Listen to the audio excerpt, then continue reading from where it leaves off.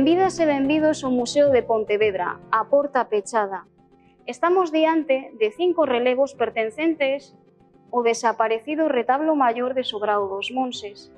Este retablo foi deseñado e trazado por Luis de Lorenzana, enseñeiro real do Arsenal de Ferrol, e o consunto escultórico foi realizado por José Gambino e José Ferreiro, dous dos mellores escultores galegos por aquel entón que traballaron nesta obra entre 1769 e 1770. No obstante, este retablo foi inaugurado posteriormente, nunha gran celebración que tivo lugar o 20 de agosto de 1771. O mosteiro de Sobrado foi inaugurado no século X baixo o nome de San Salvador, San Salvador de Sobrado. Posteriormente, no século XII, foi refundado baixo a advocación de Santa María e a partir de entón comezou a ser chamado Santa María de Sobrado.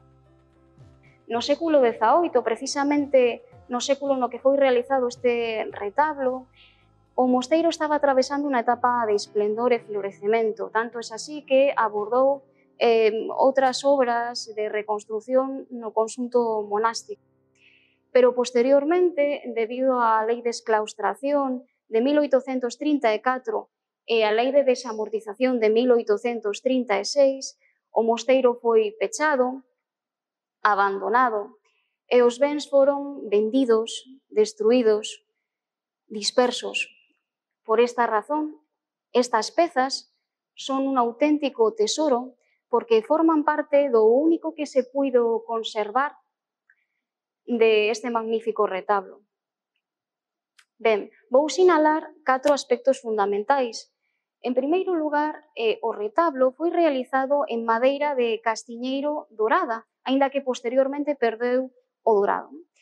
Eh, o castiñeiro, xunto co carballo, foi unha das árbores predominantes en nos montes galegos durante séculos, ata o século XVIII, XIX, en que o castiñeiro comezou a ser a desaparecer paulatinamente, eh, sendo sustituído por outras especies como o piñeiro.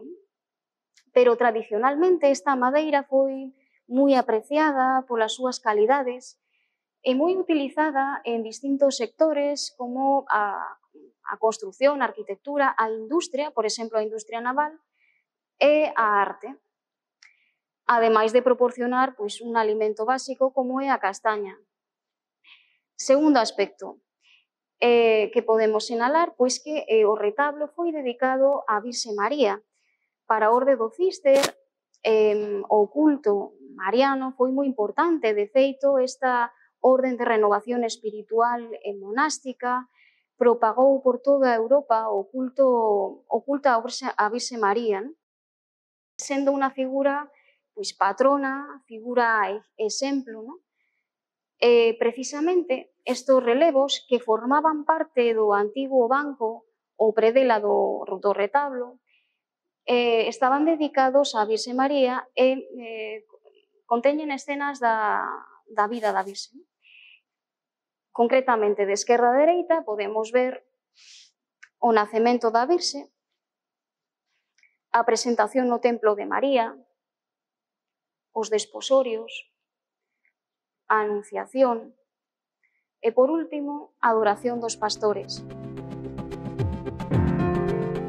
Ademais, podemos engadir que esta obra é moi importante para coñecer un pouco mellor a obra escultórica de José Gambino, un escultor que a día de hoxe continúa sendo unha figura bastante polémica ou controvertida ou enigmática eh, máis tendo en conta que nos últimos anos da súa vida colaborou conjuntamente co seu discípulo e senro José Ferreiro.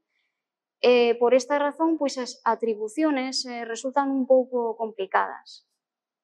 Por último, podemos sinalar que esta obra é un bo exemplo da convivencia e a transición de dous estilos, dúas linguaxes, o tardo barroco o rococó e o neoclásico, un estilo que estaba impoñéndose en consonancia coas novas orientacións estéticas da Academia.